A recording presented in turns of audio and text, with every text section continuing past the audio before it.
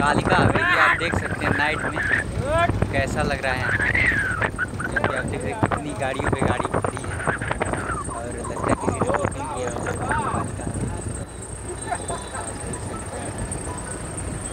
और अच्छा भी लग रहा है और नाइट में।